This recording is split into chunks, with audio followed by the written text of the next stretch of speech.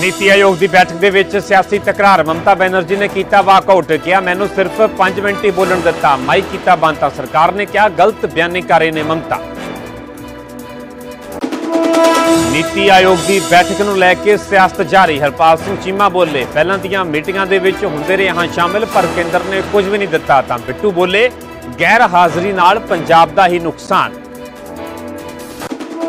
CM Bhagwant Mann ਨੇ ਅਕਾਲੀ ਦਲ ਤੇ ਸਾਦੇ ਤਿੱਖੇ ਨਿਸ਼ਾਨੇ ਬੋਲੇ ਬਾਦਲ ਪਿੰਡ ਦੇ ਵਿੱਚ ਬਣੇ ਘਰ ਦੀਆਂ ਤੇ ਹਾਰਡ ਜੇਲ੍ਹ ਤੋਂ ਉੱਚੀਆਂ ਨੇ ਕੰਧਾਂ। ਮੈਂ ਸੁਖ ਵਿਲਾਸ ਦੇ ਕਾਗਜ਼ ਕਢਵਾਏ। ਸੀਐਮ ਮਾਨ ਨੇ ਗਿੱਦੜਬਾਹਾ ਦੇ ਵਿੱਚ ਮਾਲਵਾ ਨਹਿਰ ਦੀ ਉਸਾਰੀ ਵਾਲੀ ਥਾਂ ਦਾ ਕੀਤਾ ਮੁਆਇਨਾ। ਬੋਲੇ 149 ਕਿਲੋਮੀਟਰ ਲੰਬੀ ਨਹਿਰ 2 ਲੱਖ ਏਕੜ ਜ਼ਮੀਨ ਨੂੰ ਸਿੰਜੇਗੀ। ਧਰਤੀ ਹੇਠਲੇ ਪਾਣੀ ਨੂੰ ਬਚਾਉਣ ਦੀ ਕਰ ਰਹੇ ਹਾਂ ਕੋਸ਼ਿਸ਼। ਕੱਲ ਕੇਂਦਰੀ ਮੰਤਰੀ ਅਮਿਤ ਸ਼ਾਹ ਨੂੰ ਮਿਲਣਗੇ ਐਮਪੀ ਸਰਬਜੀਤ ਸਿੰਘ ਖਾਲਸਾ। ਅਮਰਿਤਪਾਲ ਸਿੰਘ ਦੀ ਰਿਹਾਈ ਦੀ ਕਰਨਗੇ ਮੰਗ ਮੰਗ ਐਨਐਸਏ ਤਹਿਤ ਡਿਬਰੂਗੜ੍ਹ ਜੇਲ੍ਹ ਦੇ ਵਿੱਚ ਬੰਦ ਹੈ ਅਮਰਿਤਪਾਲ। ਬਟਾਲਾ ਚ ਐਨਕਾਊਂਟਰ ਤੋਂ ਬਾਅਦ ਗੈਂਗਸਟਰ ਕਾਬੂ। ਗੈਂਗਸਟਰ ਦੇ ਪੈਰ ਦੇ ਵਿੱਚ ਵੱਜੀ ਗੋਲੀ। ਮਰਸੀਡੀਜ਼ ਦੇ ਵਿੱਚ ਸਵਾਰ ਬਦਮਾਸ਼ ਦਾ ਪਿੱਛਾ ਕਰ ਰਹੀ ਸੀ ਪੁਲਿਸ। ਹਰਿਆਣਾ ਦੇ ਹਾਂਸੀ ਦੇ ਵਿੱਚ ਬਦਮਾਸ਼ਾਂ ਨੇ ਬੀਜੇਪੀ ਵਿਧਾਇਕ ਤੇ ਤਾਣੀ ਪਿਸਤੌਲ ਭੀੜ ਦੇ ਵਿੱਚੋਂ ਕਿਸੇ ਨੇ ਹੱਥ ਤੇ ਪੱਥਰ ਮਾਰ ਕੇ ਡੇਗਿਆ ਅਸਲਾ ਲੋਕਾਂ ਨੂੰ ਆਪਣੇ ਵੱਲ ਆਉਂਦਿਆਂ ਦੇਖ ਫਰਾਰ ਹੋਏ ਬਦਮਾਸ਼।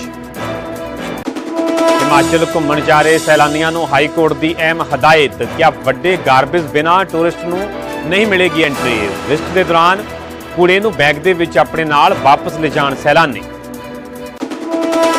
ਲਿਵ ਇਨ ਰਿਲੇਸ਼ਨਸ਼ਿਪ ਤੇ ਹਾਈ ਕੋਰਟ ਦੀ ਸਖਤ ਟਿੱਪਣੀ ਕਿ ਵਿਆਹਤਾ ਹੋਣ ਦੇ ਬਾਵਜੂਦ ਲਿਵ ਇਨ ਰਿਲੇਸ਼ਨ ਦੇ ਵਿੱਚ ਰਹਿਣਾ ਅਪਰਾਧ ਇਸ ਨੂੰ ਨਹੀਂ ਮੰਨਿਆ ਜਾ ਸਕਦਾ। ਵਿਆਹ ਜੋੜਿਆਂ ਦੀ ਸੁਰੱਖਿਆ ਵਾਲੀ ਪਟੀਸ਼ਨ ਕੀਤੀ ਖਾਰਜ।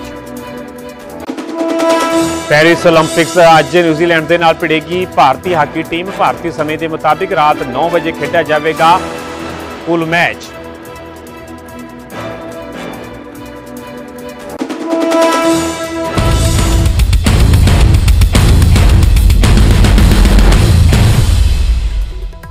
ਸਤਿ ਸ਼੍ਰੀ ਅਕਾਲ, ਤੁਸੀਂ ਵੇਖ ਰਹੇ ਹੋ ਨਿਊਜ਼ 18 ਪੰਜਾਬ। ਹਰਿਆਣਾ ਮੈਂ ਪਰਮਿੰਦਰ ਸਿੰਘ ਤੇਜਾ। ਸਾਰੇ ਦਰਸ਼ਕਾਂ ਦਾ ਬੁਲੇਟਿਨ ਸਵਾਗਤ ਹੈ। ਸ਼ੁਰੂਆਤ ਕਰਾਂਗੇ ਖੰਨਾ ਦੇ ਨਾਲ ਜੁੜੀ ਹੋਈ ਵੱਡੀ ਖਬਰ ਤੋਂ, ਜਿੱਥੇ ਦੇ ਏਐਸ ਕਾਲਜ ਦੇ ਵਿੱਚ ਗੋਲੀ ਚੱਲੀ ਹੈ। ਕਾਲਜ ਦਾ ਇੱਕ ਮੁਲਾਜ਼ਮ ਇਸ ਦੌਰਾਨ ਜ਼ਖਮੀ ਹੋਇਆ ਹੈ। ਕੁਝ ਵਿਦਿਆਰਥੀਆਂ ਨੇ ਭੱਜ ਕੇ ਆਪਣੀ ਜਾਨ ਬਚਾਈ ਹੈ। ਵਿਦਿਆਰਥੀ ਭੱਜ ਕੇ ਪ੍ਰਿੰਸੀਪਲ ਦੇ ਦਫ਼ਤਰ ਦੇ ਵਿੱਚ ਵੜ ਗਏ। ਕਾਲਜ ਦੇ ਵਿਦਿਆਰਥੀਆਂ ਦੇ ਦੋ ਗੁੱਟਾਂ ਦੇ ਵਿੱਚ ਦਰਸਲ ਇਹ ਪੂਰੀ ਲੜਾਈ ਲੜਾਈ ਹੋਈ ਹੈ।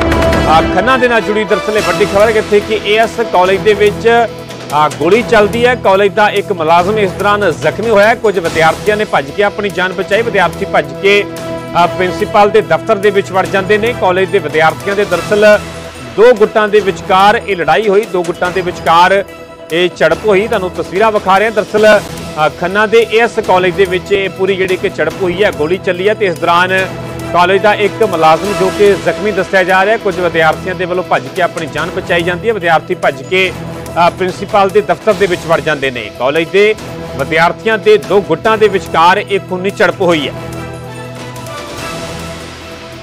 ਇਸੇ ਖਬਰ ਤੇ ਹੋਰ ਜਰਾ ਜਾਣਕਾਰੀ ਲਈ ਸਾਡੇ ਸਹਿਯੋਗੀ ਗੁਰਦੀਪ ਸਿੰਘ ਜੁੜੇ ਹੋਏ ਨੇ। ਗੁਰਦੀਪ, ਇਸ ਕਾਲਜ ਦੇ ਵਿੱਚ ਇਸ ਤਰੀਕੇ ਦੇ ਨਾਲ ਗੋਲੀ ਚੱਲਣਾ ਮੁਲਾਜ਼ਮ ਦਾ ਜ਼ਖਮੀ ਹੋਣਾ ਆਖਰਕਾਰ ਕੀ ਵਜ੍ਹਾ ਰਹੀ ਤੇ ਹੁਣ ਤੱਕ ਦੀ ਕੀ ਕੋਈ ਜਾਣਕਾਰੀ?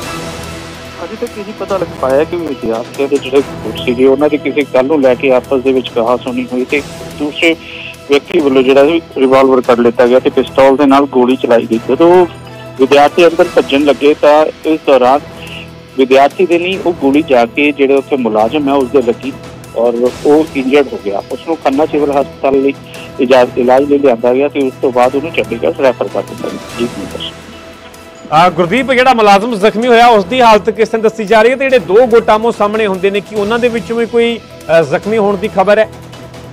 ਜੀ, ਜਿਹੜੇ ਜਿਨ੍ਹਾਂ ਦੀ ਲੜਾਈ ਹੋਈ, ਉਹਨਾਂ ਤੋਂ ਤਾਂ ਜ਼ਖਮੀ ਹੋਣ ਦੀ ਕਿਸੇ ਦੀ ਹਜੇ ਤੱਕ ਖਬਰ ਨਹੀਂ ਸਾਹਮਣੇ ਆਈ। ਹਾਂ, ਇਹ ਜ਼ਰੂਰ ਜਿਹੜਾ ਮੁਲਾਜ਼ਮ ਹੈ ਉਸ ਦੀ ਹਾਲਤ ਜਿਹੜੀ ਸੀਗੀ, ਉਹਦੇ ਲੱਤ ਦੇ ਵਿੱਚ ਗੋਲੀ ਲੱਗੀ ਸੀ।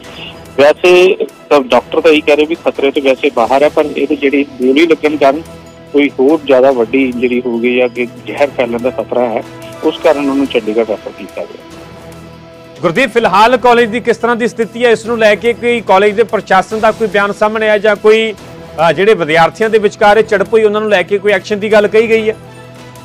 ਜੀ ਹਜੇ ਤੱਕ ਕਾਲਜ ਪ੍ਰਬੰਧਨ ਦਾ ਕੋਈ ਬਿਆਨ ਸਾਹਮਣੇ ਤਾਂ ਨਹੀਂ ਆਇਆ ਵੀ ਹਾਂ ਇਹ ਜ਼ਰੂਰ ਹੈ ਵੀ ਪੁਲਿਸ ਹਜੇ ਆਪਣੇ ਵੱਲੋਂ ਕਾਰਵਾਈ ਕਰਨ ਤੇ ਲੱਗੀ ਹੋਈ ਹੈ ਔਰ ਉਹਨਾਂ ਦੀ ਤਲਾਸ਼ ਕੀਤੀ ਜਾ ਰਹੀ ਹੈ ਜਿਹੜੇ ਗੋਲੀ ਚਲਾਉਣ ਵਾਲੇ ਸੀ ਵੀ ਉਹਨਾਂ ਨੂੰ ਜਲਦੀ ਤੋਂ ਜਲਦੀ ਕਾਬੂ ਕਰ ਲਿੱਤਾ ਜਾਵੇ। ਪੁਲਿਸ ਉਸ ਦੇ ਵਿੱਚ ਲੱਗੀ ਹੈ।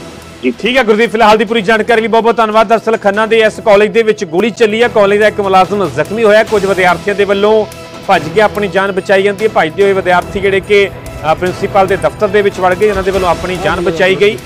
ਕਾਲਜ ਦੇ ਦਰਸਲ ਵਿਦਿਆਰਥੀਆਂ ਦੇ ਦੋ ਗੁੱਟਾਂ ਦੇ ਵਿਚਕਾਰ ਇਹ ਪੂਰੀ ਲੜਾਈ ਹੋਈ ਦੱਸੀ ਜਾ ਰਹੀ।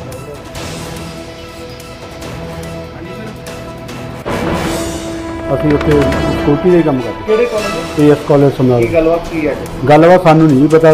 ਬਾਹਰੇ ਬੱਚੇ ਕਿਤੇ ਲੜੇ ਨੇ। ਅਸੀਂ ਤਾਂ ਜਾ ਕੇ ਦੇਖਣ ਲੱਗੇ ਜਦ ਫਾਇਰ ਹੋਇਆ। ਉਹ ਬੱਚਾ ਇੱਕ ਭੱਜ ਕੇ ਅੰਦਰ ਨੂੰ ਆ ਗਿਆ ਜੀ। ਉਹਨਾਂ ਦੇ ਬੱਚੇ ਦੇ ਸਾਡਾ ਮੁਲਾਜ਼ਮ ਦਫ਼ਤਰ ਮੂਹਰੇ ਖੜੇ ਸੀ। ਉਹ ਇਹਦੇ ਲੱਤ ਨੂੰ ਗੋਲੀ ਕਿੰਨੇ ਵਾਰ ਕੀਤੇ ਗਏ ਨੇ ਫਾਇਰਿੰਗ ਉਹਨਾਂ ਨੇ 4-5 ਕਰ ਤੇ ਕਿਹਦੇ ਲੱਗੀ ਹੁਣ ਗੋਲੀ ਜੀ? ਇਹ Husan Lal.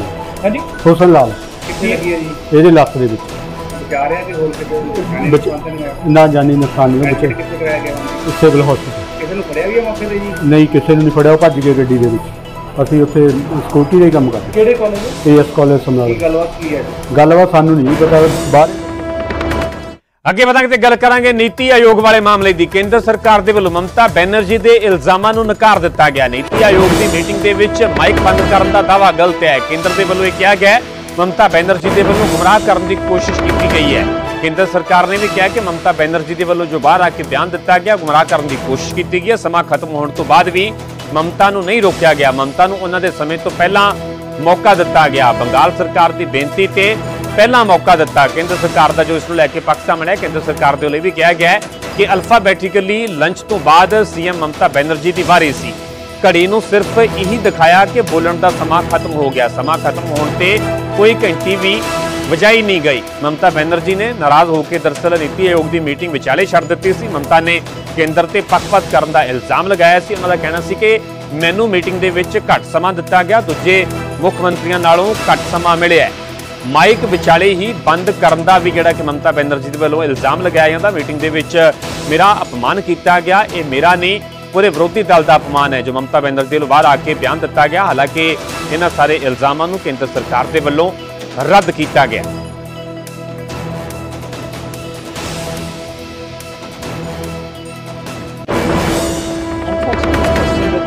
That she participates in this meeting, puts both her case, speaks for West Bengal, and as she said in the meeting, she spoke for all the opposition. But even as she was doing it, and we were hearing, as per the uh, procedure, if uh, she's reminded that her time is over, even with the mic on, she could have requested that she's going to continue speaking like some other chief ministers did she could have continued speaking as long as she wanted, like some chief ministers did. But she chose to use that as a excuse uh, so that she can get out of the meeting. And after getting out of the meeting, for her to say that the mic was switched off is just so unfortunate. I wish Mamata Banerjee would please say the truth behind this rather than again build a narrative based on falsehood. ਤਾਂ ਨੀਤੀ ਆਯੋਗ ਦੀ ਬੈਠਕ ਨੂੰ ਲੈ ਕੇ ਸਿਆਸਤ ਲਗਾਤਾਰ ਜਾਰੀ ਹੈ ਰਵਨੀਤ ਬਿੱਟੂ ਤੇ ਹਰਪਾਲ ਚੀਮਾ ਦਾ ਪਲਟਵਾਰ ਪ੍ਰੀ ਬਜਟ ਮੀਟਿੰਗ ਦੇ ਵਿੱਚ ਵੀ ਮੰਗਾਂ ਰੱਖ ਚੁੱਕੇ ਹਨ ਹਰਪਾਲ ਚੀਮਾ ਦੇ ਵੱਲੋਂ ਕਿਹਾ ਗਿਆ ਕਿ ਪ੍ਰੀ ਬਜਟ ਮੀਟਿੰਗ ਦੇ ਵਿੱਚ ਵੀ ਮੰਗਾਂ ਰੱਖ ਚੁੱਕੇ ਹਨ ਰਵਨੀਤ ਬਿੱਟੂ ਸਿਰਫ ਪਬਲਿਸਿਟੀ ਲਈ ਬਿਆਨਬਾਜ਼ੀ ਕਰ ਰਹੇ ਨੇ। ਬਿੱਟੂ ਨਵੇਂ-ਨਵੇਂ ਬੀਜੇਪੀ ਦੇ ਵਿੱਚ ਗਏ, ਕੁਰਸੀ ਬਚਾਉਣ ਦੇ ਲਈ ਬਿਆਨ ਦੇ ਰਹੇ ਨੇ। ਬਿੱਟੂ ਨੂੰ ਪੀਐਮ ਸਾਹਮਣੇ ਪੰਜਾਬ ਦੀ ਗੱਲ ਰੱਖਣੀ ਚਾਹੀਦੀ ਹੈ। ਪਹਿਲਾਂ ਵੀ ਨੀਤੀ ਆਯੋਗ ਦੀਆਂ ਮੀਟਿੰਗਾਂ ਦੇ ਵਿੱਚ ਸ਼ਾਮਲ ਹੁੰਦੇ ਰਹੇ ਹਾਂ। ਪੰਜਾਬ ਨੂੰ ਕੇਂਦਰ ਨੇ ਪਹਿਲਾਂ ਵੀ ਕੁਝ ਨਹੀਂ ਦਿੱਤਾ। ਨੀਤੀ ਆਯੋਗ ਦੀ ਮੀਟਿੰਗ ਦਾ ਬਾਈਕਾਟ ਕਰਨ ਤੇ ਵਰੇ ਨੇ ਰਵਨੀਤ ਬਿੱਟੂ। ਪੰਜਾਬ ਨੂੰ ਵੱਡਾ ਨੁਕਸਾਨ ਹੋਵੇਗਾ। ਰਵਨੀਤ ਬਿੱਟੂ ਦੇ ਵੱਲੋਂ ਇਹ ਵੱਡਾ ਬਿਆਨ ਦਿੱਤਾ ਗਿਆ ਕਿ ਮੀਟਿੰਗ ਦਾ ਬਾਈਕਾਟ ਕਰਨ ਦੇ ਨਾਲ ਪੰਜਾਬ ਨੂੰ ਵੱਡਾ ਨੁਕਸਾਨ ਹੋਵੇਗਾ। ਸੀਐਮ ਮਾਨ, ਪੀਐਮ ਤੇ ਵਿੱਤ ਮੰਤਰੀ ਨੂੰ ਫੇਸ ਨਹੀਂ ਕਰ ਸਕਦੇ। ਸੀਐਮ ਨੂੰ ਜੀਐਸਟੀ ਮੀਟਿੰਗ ਦੇ ਵਿੱਚ ਹਿੱਸਾ ਲੈਣਾ ਚਾਹੀਦਾ ਸੀ। ਸੀਐਮ ਮਾਨ ਨੂੰ ਜੀਐਸਟੀ ਮੀਟਿੰਗ ਦੇ ਵਿੱਚ ਮੁੱਦੇ ਜ਼ੋਰ ਸ਼ੋਰ ਦੇ ਨਾਲ ਚੁੱਕਣੇ ਚਾਹੀਦੇ ਸਨ, ਜੋ ਰਵਨੀਤ ਬਿੱਟੂ ਦੇ ਵੱਲੋਂ ਇਹ ਵੱਡਾ ਬਿਆਨ ਦਿੱਤਾ ਗਿਆ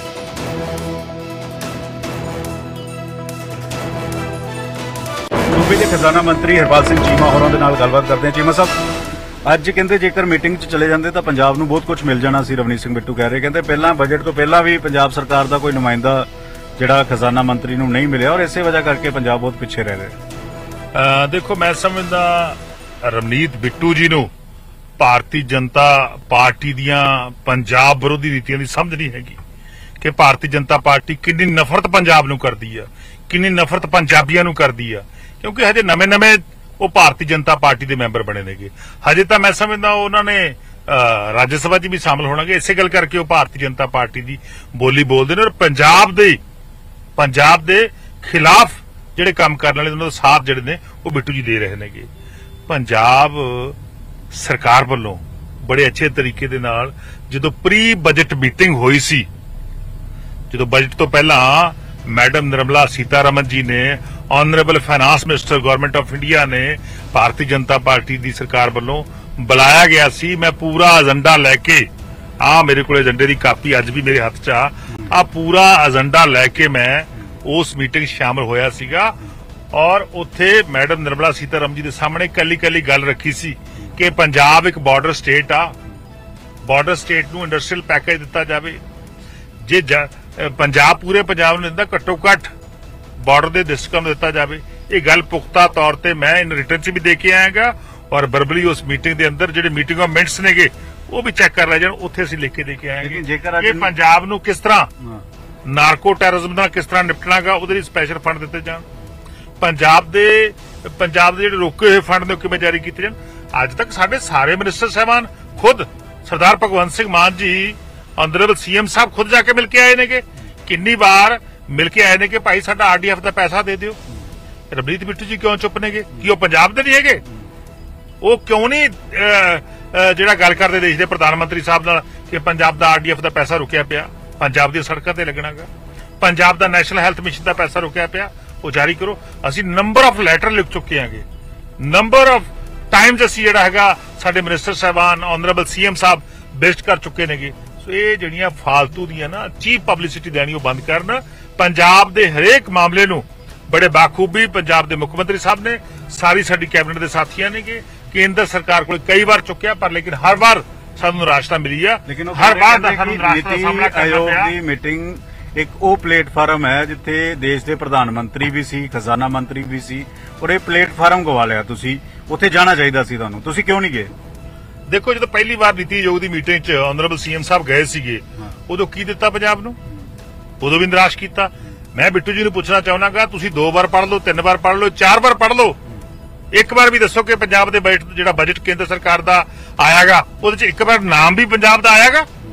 ਜਿੰਨੀਆਂ ਵੀ ਮੀਟਿੰਗਾਂ ਹੁੰਦੀਆਂ ਨੇਗੀਆਂ, ਹੁਣ ਤਾਂ ਚਲੋ ਬਿੱਟੂ ਸਾਹਿਬ ਮੈਂਬਰ ਨੇਗੇ ਉਸ ਕੈਬਨਿਟ ਦਾ, ਕਦੇ ਦੇਖ ਲੈਣ ਕਿਸੇ ਏਜੰਡੇ 'ਚ ਪੰਜਾਬ ਦਾ ਨਾਮ ਆਉਂਦਾਗਾ ਭਾਰਤੀ ਜਨਤਾ ਪਾਰਟੀ ਭਾਈ ਪੰਜਾਬ ਨਾਲ ਨਫ਼ਰਤ ਕਰਦੀ ਹੈ, ਐਵੇਂ ਤੁਸੀਂ ਇਧਰ ਉਧਰ ਦੀਆਂ ਗੱਲਾਂ ਕਰਨੀਆਂ ਛੱਡੋ, ਪੰਜਾਬ ਦੇ ਲੋਕਾਂ ਨੂੰ ਪਤਾਗਾ ਕਿ ਤੁਸੀਂ ਸਿਰਫ ਤੇ ਸਿਰਫ ਆਪਣੀ ਜਿਹੜੀ ਆ ਅ, ਮਿਨਿਸਟਰੀ ਲੈਣ ਦੇ ਲਈ ਉਸ ਪਾਰਟੀ ਸ਼ਾਮਲ ਹੋਏ ਹੋ। ਸੋ ਤੁਹਾਨੂੰ ਗੁਣਗਾਨ ਕਰਨ ਦੀ ਜਿਹੜੀ ਡਿਊਟੀ ਲੱਗੀ ਹੈ ਤੁਹਾਡੀ। ਮੈਂ ਇਹ ਗੱਲ ਤੁਹਾਡੇ ਚੈਨਲ ਤੇ ਪਹਿਲਾਂ ਹੀ ਕਮਲ ਪਹਿਲਾਂ ਬਹੁਤ ਡਿਟੇਲ ਗੱਲ ਕਹੀ ਸੀ ਬਈ ਅਸੀਂ ਪੰਜਾਬ ਦੇ ਲੋਕ ਇਸੇ ਕਰਕੇ ਵਾਂਝੇ ਰਹਿ ਗਏ ਵੀ ਕੋਈ ਵੀ ਮਿਨਿਸਟਰ ਮੁੱਖ ਮੰਤਰੀ ਦਾ ਛੱਡੋ ਬਜਟ ਤੋਂ ਪਹਿਲਾਂ ਕਿਸੇ ਮਿਨਿਸਟਰ ਨਾਲ ਕਿਸੇ ਮੰਤਰੀ ਨਾਲ ਕਿਸੇ ਮਹਿਕਮੇ ਦੇ ਮੰ ਕੋਈ ਗੱਲ ਨਹੀਂ ਕਰਕੇ ਗਿਆ ਜਿਹਦੇ ਕਰਕੇ ਸਾਡੇ ਪੰਜਾਬ ਦੇ ਲੋਕ ਵਾਂਝੇ ਰਹਿ ਗਏ। ਸੀ ਵੀ ਮੁੱਖ ਮੰਤਰੀ ਸਾਹਿਬ ਬੇਨਤੀ ਆ, ਤੁਸੀਂ ਪ੍ਰਾਈਮ ਮਿਨਿਸਟਰ ਨੂੰ ਮਿਲੋ ਆ ਕੇ, ਜੇ ਪ੍ਰਾਈਮ ਮਿਨਿਸਟਰ ਨੂੰ ਨਹੀਂ ਮਿਲਣਾ, ਤਾਂ ਜ਼ਰੂਰ ਜਿਹੜੀ ਜੀਐਸਟੀ ਦੀ ਮੀਟਿੰਗ ਕੌਂਸਲ ਦੀ ਹੋਊਗੀ, ਉਹਦੇ ਵਿੱਚ ਆਪਣੇ ਇਸ਼ੂ ਜ਼ੋਰ ਸ਼ੋਰ ਨਾ ਚੱਕਿਓ। ਪਰ ਹੁਣ ਅੱਜ ਪਤਾ ਲੱਗਿਆ ਵੀ ਉਹਦਾ ਵੀ ਬਾਈਕਾਟ ਕਰ ਗਏ। ਇੱਥੋਂ ਕੀ ਲੱਗਦਾ ਏ ਤੁਹਾਨੂੰ? ਇੱਥੋਂ ਇਹ ਲੱਗਦਾ ਏ ਵੀ ਇਹ ਕਿਤੇ ਨਾ ਕਿਤੇ ਜੀਐਸਟੀ ਕੌਂਸਲ ਦੇ ਵਿੱਚ ਜਦੋਂ ਪ੍ਰਧਾਨ ਮੰਤਰੀ ਹੋਣਗੇ, ਜਦੋਂ ਉੱਥੇ ਨਿਰਮਲਾ ਸੀਤਾਰਮਨ ਸਾਡੇ ਫਾਈਨਾਂਸ ਮਿਨਿਸਟਰ ਹੋਣਗੇ, ਇਹ ਉਹਨਾਂ ਨੂੰ ਫੇਸ ਨਹੀਂ ਕਰ ਸਕਦੇ, ਕਿਤੇ ਨਾ ਕਿਤੇ ਜਿਹੜਾ ਪੈਸਾ ਏ ਖੁਰਦ-ਫੁਰਦ ਕੀਤਾ ਏ ਮਿਸਯੂਜ਼ ਕੀਤਾ ਏ ਉਹ ਪੈਸੇ ਦੀ ਵੀ ਜਦੋਂ ਗੱਲ ਉੱਠੂਗੀ, ਕੋਈ ਸਵਾਲ ਉੱਠਣਗੇ, ਉਹਨੂੰ ਨਾ ਫੇਸ ਕਰਦੇ ਹੋਏ ਇਹ ਮੀਟਿੰਗ ਤੋਂ ਬਾਈਕਾਟ ਕਰਕੇ ਭੱਜਦੇ ਆ। ਦੂਜੀ ਗੱਲ ਕੇਜਰੀਵਾਲ, ਜਿਹੜੇ ਜੇਲ੍ਹ 'ਚ ਬੈਠੇ ਆ, ਉਹ ਕਿਤੇ ਨਾ ਕਿਤੇ ਇਹ ਕਹਿੰਦੇ ਆ ਵੀ ਜੇ ਮੈਂ ਨਹੀਂ ਤਾਂ ਕੋਈ ਨਹੀਂ। ਪਰ ਪੰਜਾਬ ਨੂੰ ਛੱਡੋ, ਪੰਜਾਬ ਦੀ ਕੋਈ ਗੱਲ ਨਹੀਂ, ਆਪਣੀ ਲੜਾਈ ਜਿਹੜੀ ਆ ਉਹ ਪੰਜਾਬ ਨੂੰ ਇਗਨੋਰ ਕਰਕੇ ਸਿਆਸੀ ਲੜਾਈ ਲੜੋ। ਇਸ ਕਰਕੇ ਬਹੁਤ ਵੱਡਾ ਨੁਕਸਾਨ ਪਹਿਲਾਂ ਹੋ ਗਿਆ ਬਜਟ 'ਚ, ਬਹੁਤ ਵੱਡਾ ਨੁਕਸਾਨ ਇਹਨਾਂ ਦੇ ਨਾ ਆਉਣ ਕਰਕੇ। ਪੈਸਾ ਦਊਗਾ ਦਊਗਾ, ਪਰ ਵੱਖ ਸਕੀਮਾਂ ਜੇ ਉਹਨੇ ਨਵੀਆਂ ਬਣਾ ਕੇ ਆਪ ਦਿੰਦੇ ਤਾਂ ਕਿੰਨਾ ਪੈਸਾ ਹੋਰ ਵੱਧ ਮਿਲ ਸਕਦਾ ਸੀ। ਨੀਤ ਬਿੱਟੂ ਜੀ ਨੂੰ ਭਾਰਤੀ ਜਨਤਾ ਪਾਰਟੀ ਦੀਆਂ ਪੰਜਾਬ ਵਿਰੋਧੀ ਨੀਤੀਆਂ ਦੀ ਸਮਝ ਨਹੀਂ ਹੈਗੀ ਕਿ ਭਾਰਤੀ ਜਨਤਾ ਪਾਰਟੀ ਕਿੰਨੀ ਨਫ਼ਰਤ ਪੰਜਾਬ ਨੂੰ ਕਰਦੀ ਆ, ਕਿੰਨੀ ਨਫ਼ਰਤ ਪੰਜਾਬੀਆਂ ਨੂੰ ਕਰਦੀ ਆ, ਕਿਉਂਕਿ ਹਜੇ ਨਵੇਂ-ਨਵੇਂ ਉਹ ਭਾਰਤੀ ਜਨਤਾ ਪਾਰਟੀ ਦੇ ਮੈਂਬਰ ਬਣੇ ਨੇਗੇ।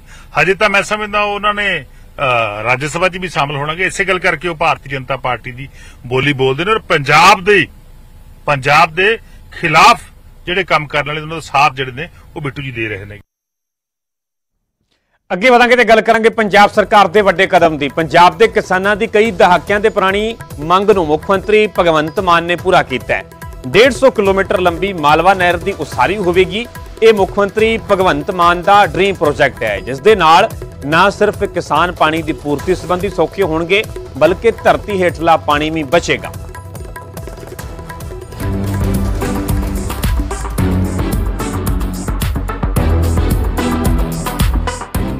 ਪੰਜਾਬ ਦੇ ਇੱਕ ਵੱਡੇ ਹਿੱਸੇ 'ਚ ਲਗਾਤਾਰ ਚੱਲ ਰਹੀ ਸੇਮ ਦੀ ਸਮੱਸਿਆ ਕਾਰਨ ਨਹਿਰਾਂ ਦੇ ਹਾਲਾਤਾਂ ਨੂੰ ਵੇਖਦੇ ਸੀਐਮ ਭਗਵੰਤ ਮਾਨ ਆਪਣਾ ਡ੍ਰੀਮ ਪ੍ਰੋਜੈਕਟ ਮਾਲਵਾ ਨਹਿਰ ਸ਼ੁਰੂ ਕਰਵਾਉਣ ਜਾ ਰਹੇ ਨੇ।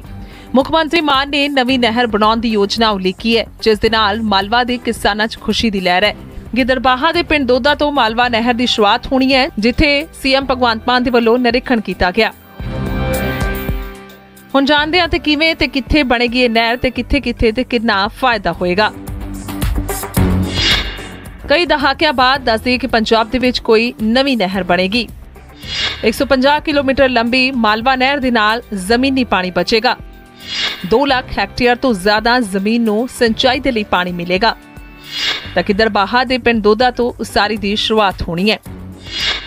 ਰਾਜਸਥਾਨ ਫੀਡਰ ਦੇ ਨਾਲ-ਨਾਲ ਮਾਲਵਾ ਨਹਿਰ ਬਣਾਈ ਜਾਵੇਗੀ। ਤਾਂ ਹਰੀਕੇ ਹੈਡ ਤੋਂ ਰਾਜਸਥਾਨ ਬਾਰਡਰ ਤੱਕ ਇਹ ਨਹਿਰ ਬਣੇਗੀ। ਇਸ ਨਹਿਰ ਦੇ ਨਾਲ ਮਾਲਵੇ ਦੇ ਬਹੁਤੇ ਇਲਾਕਿਆਂ ਨੂੰ ਪਾਣੀ ਮਿਲੇਗਾ। ਮੁਕਸਰ ਗਿੱਦਰਬਾਹਾ ਬਠਿੰਡਾ, ਅਬੋਹਰ, ਫਿਰੋਜ਼ਪੁਰ ਅਤੇ ਫਾਜ਼ਿਲਕਾ ਦੇ ਕਿਸਾਨਾਂ ਨੂੰ ਫਾਇਦਾ ਹੋਏਗਾ। ਕਦੇ ਸੋਚਿਆ ਨਹੀਂ ਸੀਗਾ ਵੀ ਮੈਂ ਇਸ ਪੱਧਰ ਤੇ ਤੁਸੀਂ ਮੈਨੂੰ ਪਹੁੰਚਾ ਦੋਗੇ। ਜਦੋਂ ਹੀ ਸਰਕਾਰ ਬਣੀ, ਮਹਿਕਮੇ ਵੰਡੇ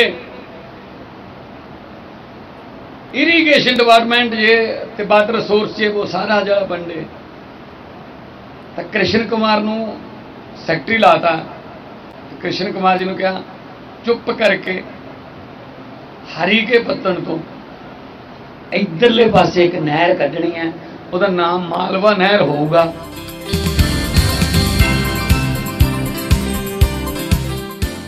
ਮਾਲਵਾ ਨਹਿਰ ਹਰੀਕੇ ਹੈਡਵਰਕਸ ਤੋਂ ਨਿਕਲੇਗੀ। ਜ਼ਿਕਰਯੋਗ ਹੈ ਕਿ ਸੌਣੀ ਦੇ ਸੀਜ਼ਨ ਦੌਰਾਨ ਫਿਰੋਜ਼ਪੁਰ ਫੀਡਰ ਦੀ ਮੰਗ ਜ਼ਿਆਦਾ ਹੋਣ ਕਾਰਨ ਪੰਜਾਬ ਦੀ ਸਮੂਚੀ ਮੰਗ ਪੂਰੀ ਨਹੀਂ ਸੀ ਹੋ ਰਹੀ। ਲਿਹਾਜ਼ਾ ਸਰਹੰਦ ਫੀਡਰ ਦੇ ਵਿੱਚ ਸਪਲਾਈ ਪ੍ਰਭਾਵਿਤ ਹੁੰਦੀ ਸੀ। ਹਾਲਾਤ ਇੰਨੇ ਗੰਭੀਰ ਹੋ ਜਾਂਦੇ ਸਨ ਕਿ ਪੰਜਾਬ ਨੂੰ ਆਪਣੀਆਂ ਨਹਿਰਾਂ ਰੋਟੇਸ਼ਨ ਤੇ ਚਲਾਉਣੀਆਂ ਪੈਂਦੀਆਂ ਨੇ। ਇਸ ਨਹਿਰ ਦੇ ਬਣਨ ਦੇ ਨਾਲ ਮੁਕਸਰ ਗਿੱਦੜਬਾਹਾ, ਬਠਿੰਡਾ, ਜ਼ੀਰਾ ਦੇ ਨਾਲ-ਨਾਲ ਅਬੋਹਰ, ਫਿਰੋਜ਼ਪੁਰ ਅਤੇ ਫਾਜ਼ਿਲਕਾ ਦੇ ਦੋਵੇਂ ਖੇਤਰਾਂ ਨੂੰ ਉਹਨਾਂ ਦਾ ਬਣਦਾ ਹਿੱਸਾ ਪਾਣੀ ਮਿਲੇਗਾ। ਇਸ ਲਈ ਇਹ ਲਗਭਗ ਪੂਰੇ ਮਾਲਵਾ ਖੇਤਰ ਦੀ ਪਾਣੀ ਦੀ ਭਰਪਾਈ ਕਰੇਗਾ। ਸਰਹੰਦ ਫੀਡਰ ਦੀ ਰਿਲਾਈਨਿੰਗ ਲਈ ਪ੍ਰੋਜੈਕਟ ਨੂੰ 2008 ਦੇ ਵਿੱਚ ਪ੍ਰਵਾਨਗੀ ਦਿੱਤੀ ਗਈ ਸੀ, ਪਰ ਇਸ ਦੌਰਾਨ ਉਸਾਰੀ ਦੀ ਸਪੀਡ ਬਹੁਤ ਮੱਠੀ ਰਹੀ।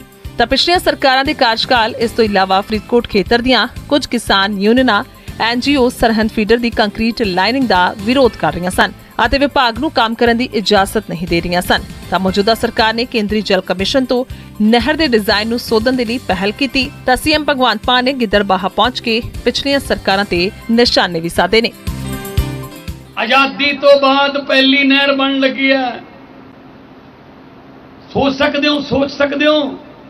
ਅਹੀਂ ਵੋਟਾਂ ਪਾਈ ਗਏ ਪੰਥ ਨੂੰ ਪੰਥ ਨੂੰ ਫਲਾਨੇ ਨੂੰ, ਧਿਮਕੇ ਨੂੰ, ਪੰਜੇ ਨੂੰ, ਬਸ ਸਾਡਾ ਤਾਂ ਪੰਜਾ ਜੀ, ਸਾਡਾ ਤਾਂ ਆਜ਼ਾਦੀ ਤੋਂ ਬਾਅਦ ਪਹਿਲੀ ਨਹਿਰ ਬਣ ਲੱਗੀ ਹੈ। 1947 ਚ ਆਜ਼ਾਦੀ ਮਿਲੀ ਸੀ ਉਸ ਤੋਂ ਬਾਅਦ ਪਹਿਲੀ ਨਹਿਰ ਬਣ ਲੱਗੀ ਹੈ। ਸੋਚਿਆ ਹੀ ਨਹੀਂ ਕੁਛ। ਸਾਰੇ ਟੱਬਰ ਨੂੰ ਕਹਿ ਦੋ, ਪੰਥ ਨੂੰ ਪਾਓ ਜੀ। ਜ਼ਿਕਰਯੋਗ ਹੈ ਕਿ ਪੰਜਾਬ 'ਚ ਧਰਤੀ ਹੇਠਲਾ ਪਾਣੀ ਲਗਾਤਾਰ ਗੰਦਲਾ ਤੇ ਡੂੰਘਾ ਹੁੰਦਾ ਜਾ ਰਿਹਾ ਹੈ ਜਿਸ ਦਾ ਇੱਕੋ ਇੱਕ ਹੱਲ ਹੈ ਕਿਸਾਨਾਂ ਨੂੰ ਖੇਤੀ ਲਈ ਪੂਰਾ ਨਹਿਰੀ ਪਾਣੀ ਦਿੱਤਾ ਜਾਵੇ। ਡੈਸਕ ਤੋਂ ਬਿਊਰੋ ਰਿਪੋਰਟ, ਨਿਊਜ਼ 18 ਪੰਜਾਬ।